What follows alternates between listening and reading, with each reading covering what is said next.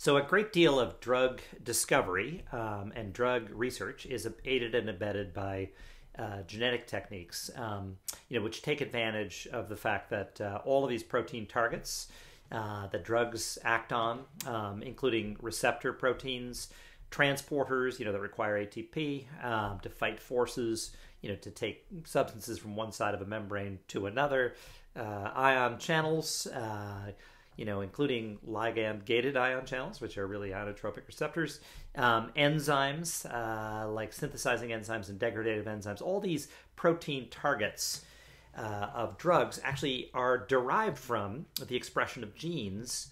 Uh, in you know cells, so there's the transcription of genes where a messenger RNA is read, you know, basically off, complementary to the sequence that you see in the unwound, you know, portion of DNA, um, and then that messenger RNA that's called transcription, right? The, the, the transcribing of the DNA into mRNA.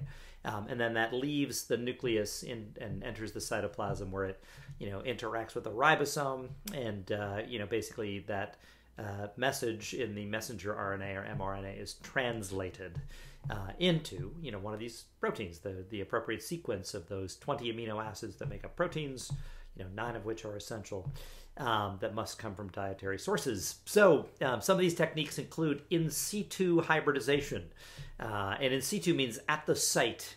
Uh, this is where you um, inject a radio labeled uh, complementary uh, messenger RNA. So, it has a sequence that's complementary that will bind specifically to the single stranded mRNA that's on its way, you know, to interact with the ribosome and tra- be translated into a protein.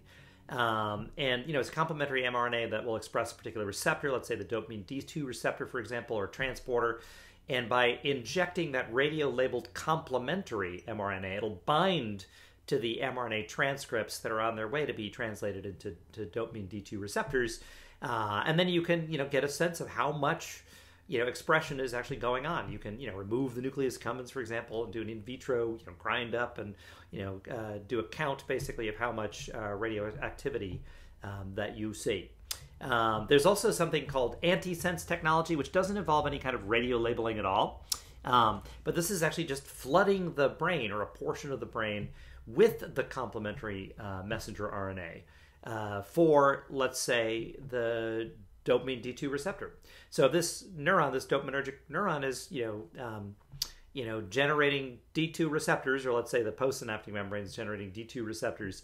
Um, well, you know if you flood that area with the complementary mRNA, it's going to bind to those mRNA transcripts and take them out of commission because they're going to be now double stranded and they cannot be fed into the ribosome right so that could that could sort of temporarily or transiently lower uh, you know, the replacement uh, or the translation, you know, the production uh, of additional D2 receptors for a while, it can reduce the expression, um, you know, the presence of D2 receptors in that postsynaptic membrane. And this is using, with again, it's called antisense. You're taking the, the, the mRNA strand, you know, that's on its way, the transcript that's on its way to the ribosome to be translated into a protein is referred to as the sense strand. It actually makes sense that particular sequence. Uh, it'll it'll put together the right sequence of amino acids. So you add in the antisense, you know, sort of the complementary strand that'll bind to it, uh, make it double stranded, make it incapable of feeding into a ribosome. So there's no translation uh, into the D2 receptor in this example.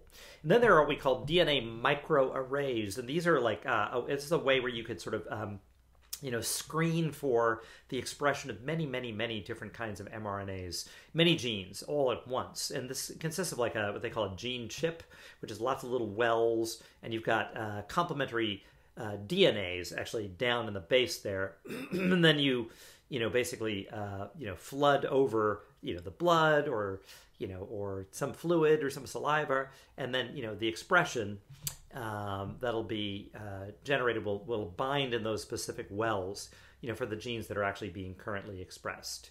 Uh, additional genetic techniques include, for example, knockout mice. These were very popular for a while. This is where you uh, specifically delete a particular gene from the genome and then see, you know, what happens in terms of that animal's behavior or development. Um, usually, this was done actually in, uh, you know, the embryo. Um, so it had to be done very early. So the the gene that was knocked out, you know, uh, would you know not be present even for all these developmental processes. And there are some genes, for example, that are uh, expressed and essential for survival, basically during development, and may do something different, you know, sort of functionally uh, in the adult. Uh, so they have what are now called conditional knockouts, where you can actually, um, you know, add in some kind of, you know, genetic material where you could later, you know, deliver a drug, for example, that would bind to that region of the you know DNA and prevent the expression, so you can conditionally knock it, knock it out. Yeah, there were there were efforts to sort of uh, you know knock out genes in specific tissues as opposed to just the entire you know body and brain. Um, and then you know there's actually a lot of uh, very popular and effective uh, and um, remarkable you know uh, advances in what we call transgenic mouse technology uh, where you introduce foreign, you know, DNA into the mouse germline, um, and then you and there there are all sorts of you know specially modified what they call transgenic mice. Uh, that you can order, you know, from you know Jackson Labs, Charles River, like all these different sources for you know various expe- uh, experiments, um, because they uh, are developing in very specific ways. You want to see what the um, influence of these additional added genes into the germline you know actually do uh, to the behavior uh, and you know the the physiology and how in many cases how drugs may impact these transgenic mice.